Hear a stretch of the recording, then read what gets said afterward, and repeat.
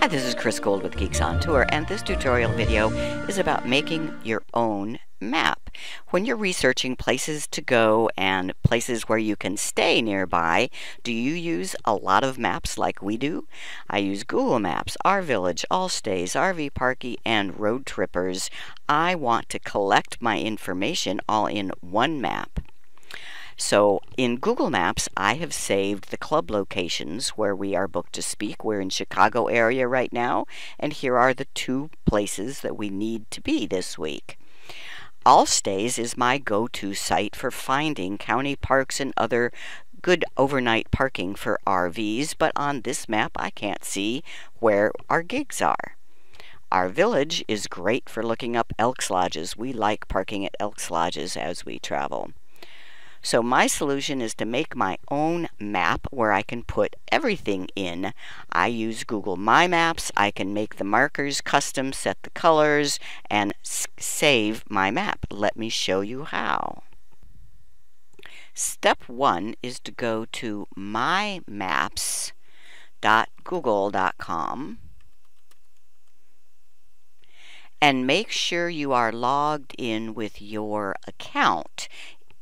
If you've ever made any other maps, you will see them here.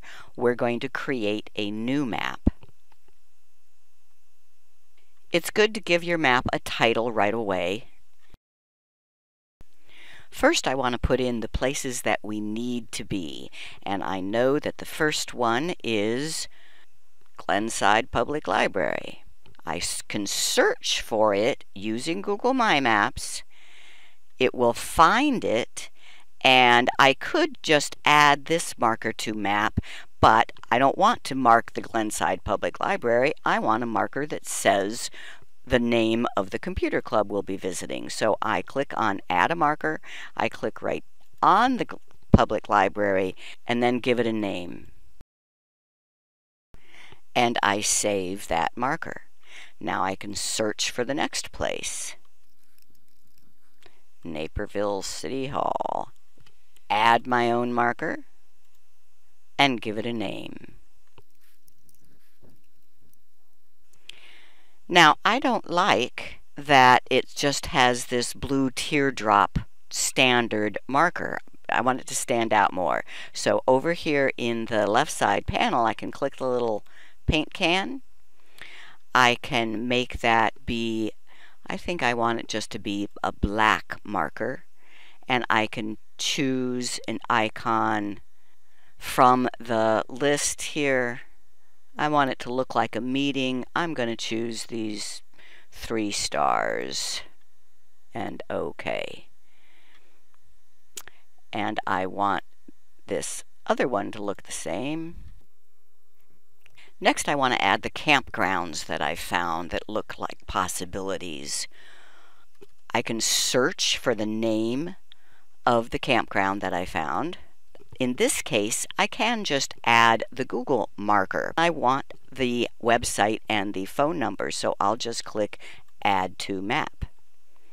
But now look over here on the left. That campground has been added to the same layer as our gigs, and it's really a different layer. Let me, I'll show you. Instead of untitled, I'm going to call this layer gigs. Now I want a new layer for places to stay. Add layer, places to stay. Now, this Blackwell family campground really belongs in this other layer. I can drag that down. It's a little bit tricky. You got to make sure to get a hold of it, and then you can drag it down to the other layer. And let me change that icon so it looks like a campground. We'll make it green and a tent. Now let's add an Elks Lodge. I can search for Elks Lodge 2254, which is what I found in my other map. But this is another case where I don't want to use the marker that came from Google. I don't want the details from Google. I want to put my own details. So add a marker, click here, give it a name, and I can add notes and even a link from the source that I got the information on this Elks Lodge.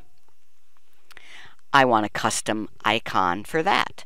So I click the little paint bucket and I'm going to make this one purple and I want an icon that maybe looks like an elk.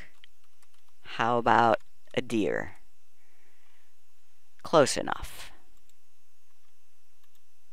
Now, in one glance, I'm just zooming out by using my scroll wheel. In one glance, I can see where we need to be, where the campground is, and where the Elks Lodge is. And now it's clear that this campground might is the closest place to go. Two more things to show you about Google My Maps. One is that you can change the underlying map, the base map. See how it's still kind of hard to see my markers on here because of the way this map is. If I click on base map, I can choose a lighter, simpler base map so that my markers really stand out. The second thing to show you is why did I insist on having two layers? Well, sometimes I just want to see where we need to be, not about our choices of where to stay. You just uncheck the box for one layer and it disappears. Check it or uncheck it to make it appear or disappear. Very handy, especially when you end up with lots of markers. And that's how you make your own map using My Maps. From now on, any map you've created will be in mymaps.google.com as long as you're logged into your account. There's the map that I just made.